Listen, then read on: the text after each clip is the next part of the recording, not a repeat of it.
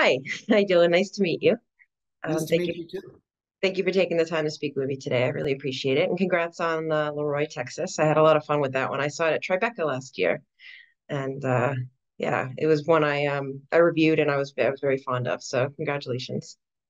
I, uh, I I was working. Uh, I remember when Shane told me that they were going to be. I was so excited, and because I've never even seen a film of mine at at Tribeca, so I was like, Oh, finally. But I was working and I couldn't come. But oh, I'm sorry. Well, there's the next one. Um, you know, speaking of working, you've done a lot. Um, I think you have like your credits on IMDb or I don't know, like over 140 or 150 or something like that.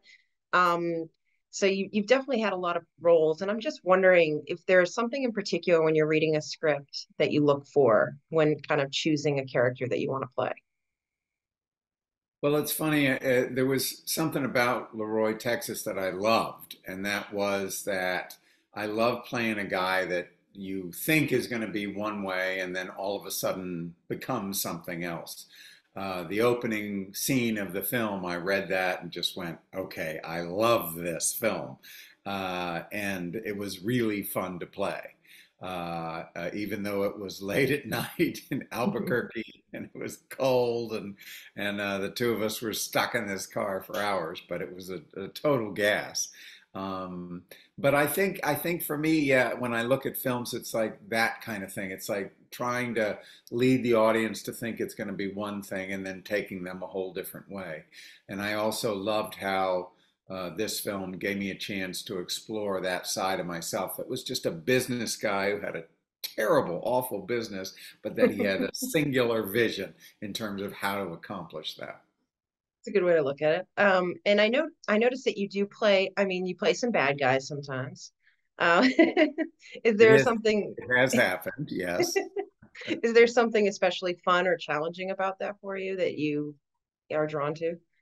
I think I think the uh, early on I I kind of found out uh, when I was starting uh, and somebody gave me a role like that that it was not about uh, embracing the evilness of it and twirling the mustache, but instead it was more about what is it that this guy thinks he's accomplishing that's that's good for if not the world, it's good for him. It's good for the people he cares about.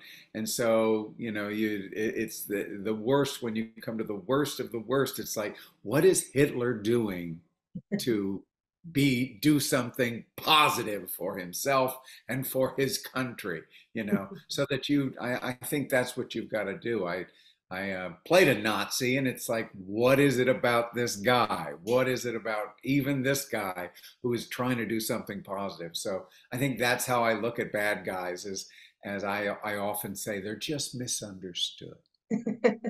Do you often, just out of curiosity, when you're doing like preparing for the role, do you invent a little bit of that for yourself? Like, do you give the little backstory that isn't in the script just to kind of get into character? I think you have to, and Yeah, I definitely did on LaRoy, Texas, because there's there's so little about this guy that you know.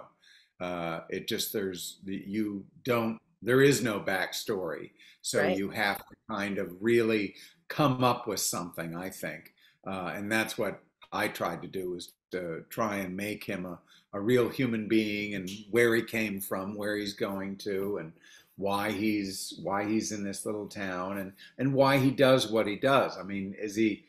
Uh, I had a whole thing going on that you know nobody will ever know about. When I'm dying in that car, that's what I'm thinking about. You know?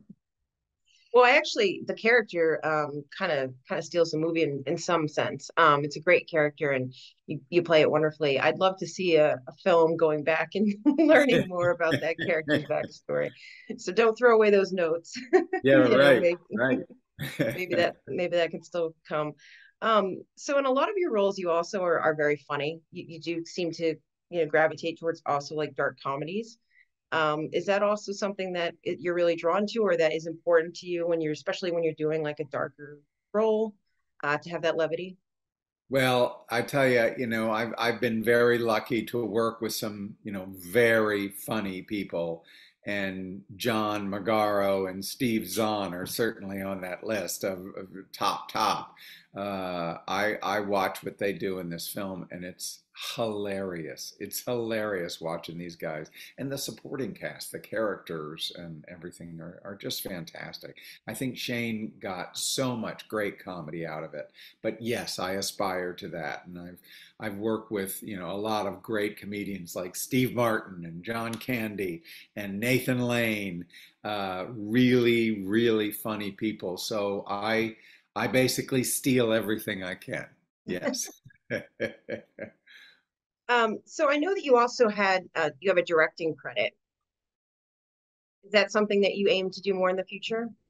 Uh, I would love to. Uh, I think uh, it, it only really happened because uh, I was very lucky. Uh, Toni Hoover, my fellow producer on the film, and also the, the writer of 23 Blast, the film that I directed, uh, she came to me and said, Well, do you want to direct it? When she had lost her first choice of director. And uh, that hasn't happened again. But uh, I think the film turned out really well. We did it on a shoestring down in Kentucky. And, uh, and I'm very proud of the film, especially uh, the one performance I think who's really good, who's Becky Ann Baker, uh, my wife, who's yeah. fantastic in it, and really, uh, you know, it's a, it's a, the whole cast is great. Uh, so I had a lot of fun doing that, and I'd love to do it again. Sure. Yeah, and so what was that like? I know that's a different film, but collaborating with your wife is that something that you uh, also aim to do more? Because I'm sure yeah. that was a blast. She's also very fun. Oh yeah, she's she's really fun. Uh, we have we have luckily been able to do quite a bit of that actually over the years, and uh, uh, it's always fun, either on a play or on a film or TV. Uh, we uh, there was a show called when I played the Nazi Hunters, and uh, all of a sudden episode four or five, Becky Ann Baker is there playing the uh, commerce secretary for Jimmy Carter. And we had these scenes where we are just fighting each other right and left. We had so much fun. And we were able to run those lines in the car, you know, run, driving back and forth to places. We'd be running those lines. And she had some, she had one line what was it? You small, bald son of a bitch. And she she would practice that line a lot. In fact, I asked her one day, I said, You're still practicing. We did that scene six months ago. Why are you still practicing that line? Right. That one just comes up randomly sometimes. yes, it does. she, she just wants to relive the role. You know, there's yeah. nothing else to it. Yeah. She she she just wants to be sure I don't forget that. Right. That's awesome. Um, so tell you tell me a little bit more about the collaboration on this project. Did you also work with the director at all to kind of make this character a little bit, um, you know, as far as from what it was originally in the script, what we see on screen?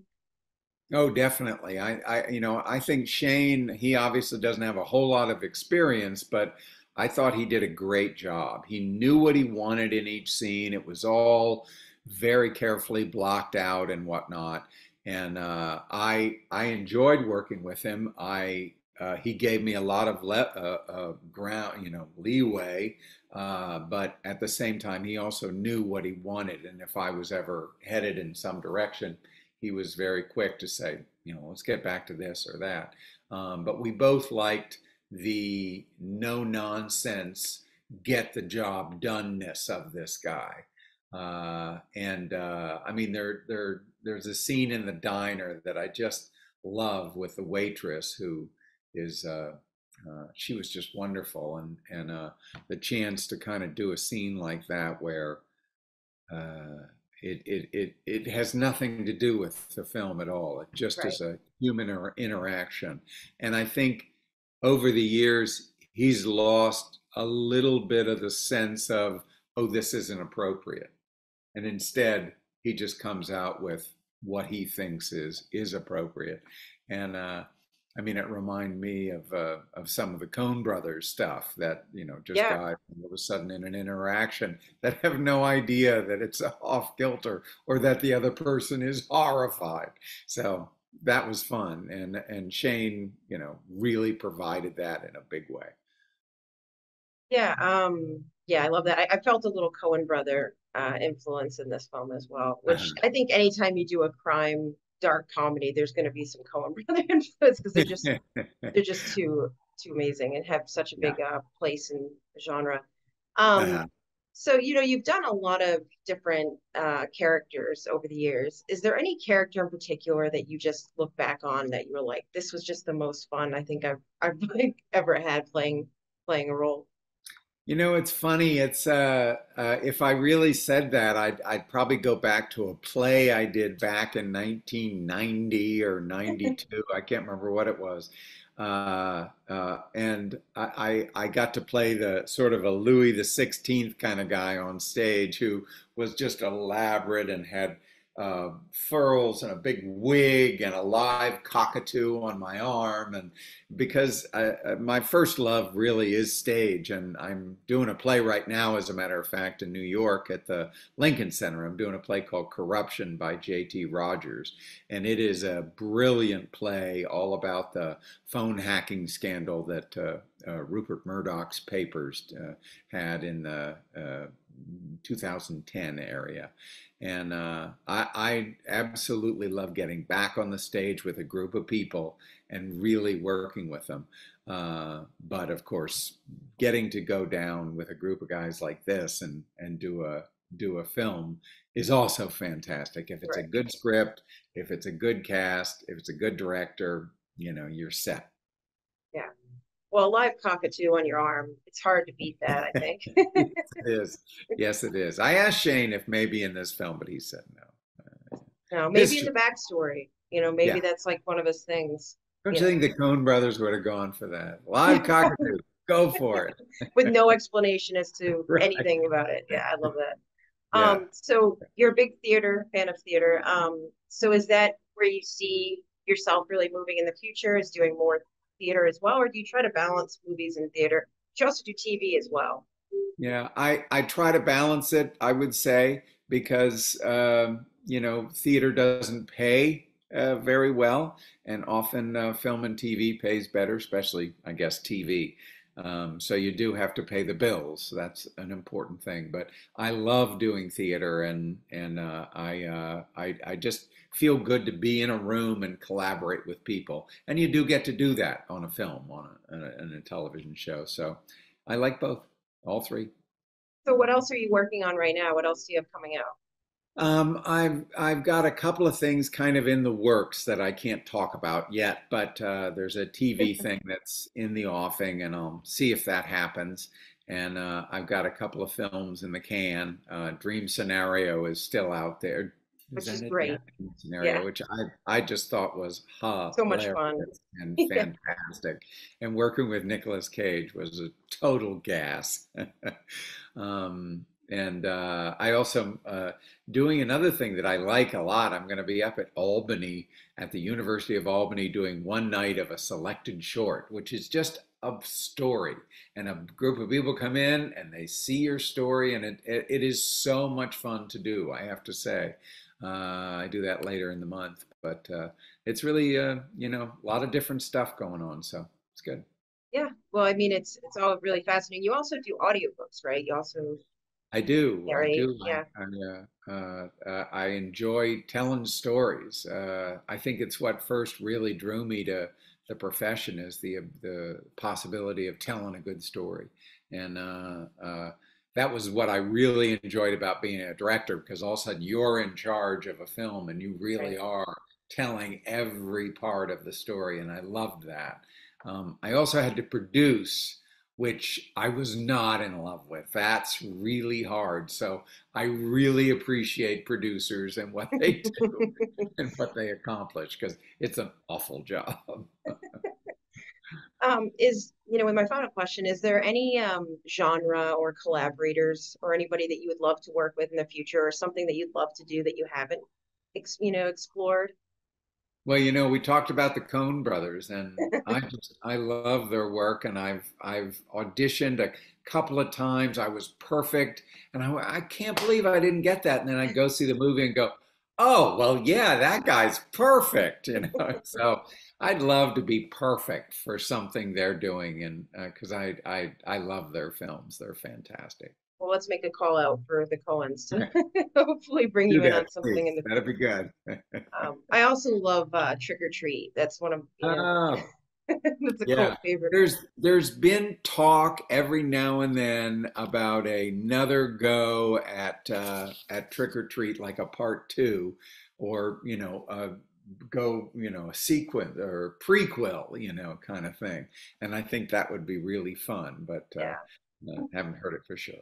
Well, also crossing my fingers for that one. Well, thank you very much for taking the time to speak with me. Congrats on the movie, and I hope you have a wonderful rest of your day. Thank you, Christy. I appreciate that.